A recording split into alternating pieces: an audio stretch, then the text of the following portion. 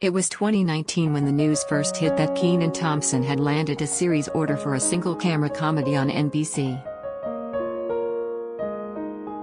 Nearly two years later, that show, titled Kenan, is finally making its big debut.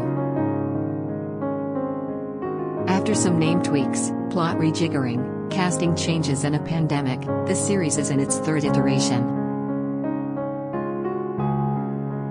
Originally piloted with executive producer and director Chris Rock in 2020, Black Monday showrunner David Caspe stepped in and co-wrote the pilot with Superstore scribe Jackie Clarke.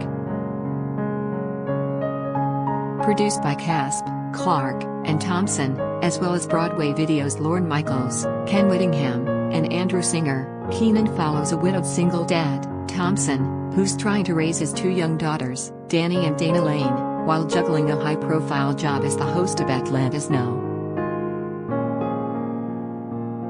2 Morning Show. With some help from his father-in-law, Don Johnson, who replaced Andy Garcia, brother, Chris Redd, and show producer, Kimrie Lewis, Kenan tries to navigate a new normal. Although it is loosely based on his own life, the SNL star grew up in Atlanta and is the father of two girls with his wife, Christina Evangeline. Thompson thought it would be beneficial to explore the life of a widower on a primetime comedy. Clarke had lost her own mother at a young age and wanted to tell a story about a family moving on after the death of a parent. What if there was a guy struggling with the love of his life not being in his life anymore, and what that would look like? And how do you still make that a sitcom? I thought that would be intriguing to watch, Thompson told Variety. Preceding Kenan on Tuesday nights is Young Rock, another half-hour sitcom featuring a big-name headliner, Dwayne The Rock Johnson. Co-written and executive produced by Fresh Off the Boat's Nahnatchka Khan and Jeff Chiang, the show focuses on 2032 presidential candidate Johnson, who looks back on different chapters of his life while on the campaign trail. Viewers will see The Rock as a kid, Adrian Groulx, growing up in a professional wrestling family and as a late teen, Uli Latukefu, playing football at the University of Miami, while learning more about his parents and the wrestling personalities he met on his path to fame. It was incredibly complicated and incredibly tough growing up, specifically with these timelines in my life of 10 years old, 15 and 18, Johnson said at NBC's TCA press tour last month. Universe willing, if we're lucky enough to come back for another round of this thing, there's a lot of other things that took place in between. Both Johnson and Thompson are no strangers to TV. On top of his blockbuster career, Johnson starred in five seasons of HBO's Ballers. And Thompson got his big break as a kid comedian on Nickelodeon with All That. And Kenan and Kel. Since 2003, he's been a main player on SNL, making him the longest running cast member to grace Studio 8H in Rockefeller Plaza. That tenure is proving tricky for Thompson as he navigates a new work schedule.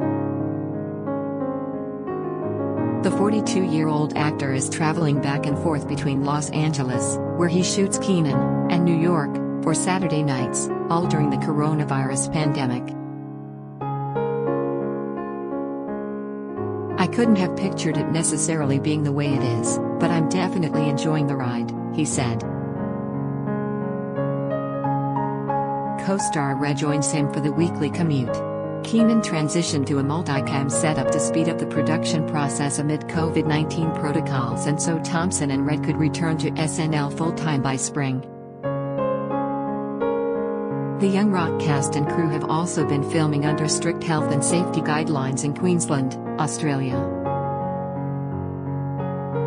Both comedies, each from incredibly talented auspices, are relatable and optimistic, Lisa Katz, president of scripted content, Universal Television and Streaming, told HuffPost.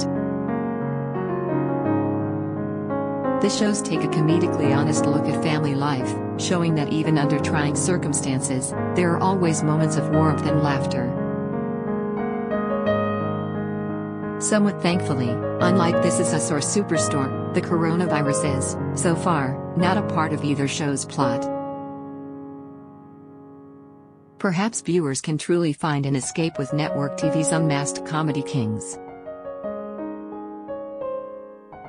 Young Rock airs Tuesdays at 8 p.m. followed by Kenan at 8.30 p.m. Kenan Thompson speaks on Cosby. Controversy and nearly two decades of SNL scripted TV shows are giving us a bigger dose of our 2020 reality how TV networks are combating COVID-19 production setbacks this fall download calling all HuffPost superfans. Sign up for membership to become a founding member and help shape HuffPost's next chapter join HuffPost.